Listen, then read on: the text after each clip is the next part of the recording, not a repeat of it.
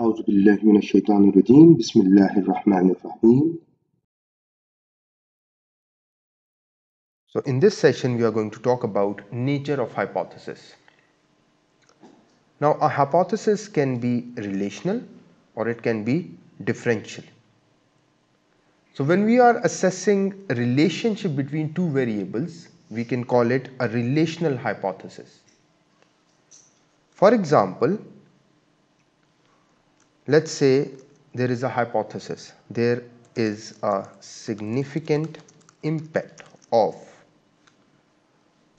CSR corporate social responsibility on organizational performance.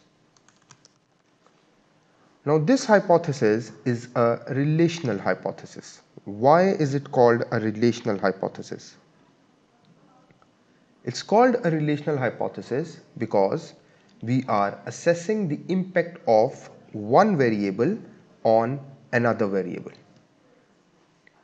And we are assessing whether change in one variable may lead to change in another variable. So you have a criterion variable which is organizational performance and you have a predictive variable CSR and we are interested in assessing the impact of CSR on organizational performance. Now although we have mentioned it that it is a relational hypothesis but the word that we have used is impact. So is there a difference or both are the same thing? Now impact actually starts with the relationship. There will be no impact of one variable on another variable unless or until they have a relationship. So if you've got a relationship only then you will have an impact. So your relationship or the relationship between two variables maybe three variables or whatever the number is it actually leads to impact. And when we are testing hypothesis in business studies we normally write the word or use the word impact, influence or such words. Now all these words actually communicate that we are interested in assessing the relationship between two variables. In this case the two variables are CSR and organizational performance. Now if you've got such hypothesis the tests that we normally use are regression analysis. Now this regression analysis may be performed using SPSS or any structural equation modeling software like SmartPLS or AMOS or maybe any other software. Now there is another form of hypothesis. That hypothesis is differential. Now in differential hypothesis we are actually looking or assessing the differences in a particular variable. The focus is on assessing differences in a particular variable. Now for example, let me give you an example. There is a significant difference in CSR initiatives between public and private sector organizations. Now in this case with this hypothesis our interest is assessing the differences in CSR initiatives and we are assessing the differences in CSR initiatives between public and private sector organizations. Now there is one variable called CSR because we are assessing the differences in CSR initiatives. So this is your dependent variable. This is your dependent variable. But when, whenever you are assessing or whenever you are conducting or testing a hypothesis, there there are dependent variables and independent variables. Now in this case, we know that this is our independent variable and this is our dependent variable. So what are the dependent or independent variables in this case? So the variable that you are checking the differences in is your dependent variable whereas your categorical variable or grouping variable that actually you are using to create groups to assess the differences in is your independent variable. Now in this case your type of organization is your independent variable whereas CSR initiatives is your dependent variable. Now let me give you another example for both of them. Let's say I've got another example there is a significantly positive impact of servant leadership on project success. Now in this case project success is your dependent variable because this is being influenced and your servant leadership is your independent variable. Another example of differential hypothesis there is a significant difference or we can change the form there are significant differences in organizational commitment between female and male employees. Now in this case, what is your dependent variable? Your dependent variable is organizational commitment and your independent variables are independent variables or variable. In this case, it is a variable that is gender and that has got two categories male and female.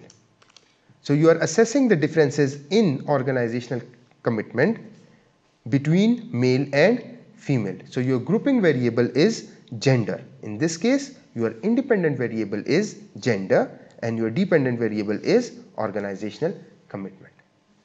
So this is how you formulate your differential hypothesis and this is how you formulate your relational hypothesis. We have already said that we are going to use regression based tests or analysis for our relational hypothesis. How are we going to test our differential hypothesis? Now in order to explain this, let's say you have got one DV, you've got, you have one dependent variable and an independent variable an independent categorical variable with two categories. In this case, what are we going to do is we are going to use independent sample t-test or we are going to use Mann-Whitney U-test. So which one are we going to use? Are we going to use this one or are we going to use this one? Now when the assumptions are met, there are certain assumptions. Now every test that we do in SPSS or any other software, there are certain assumptions that should be met. Now if we meet the assumptions or if our data actually meets these assumptions, then we are going to use independent sample t-test which is a parametric test. What are those assumptions? For example, normality of data, that your data is normally distributed. So if your data is not normally distributed, then you cannot use a parametric test.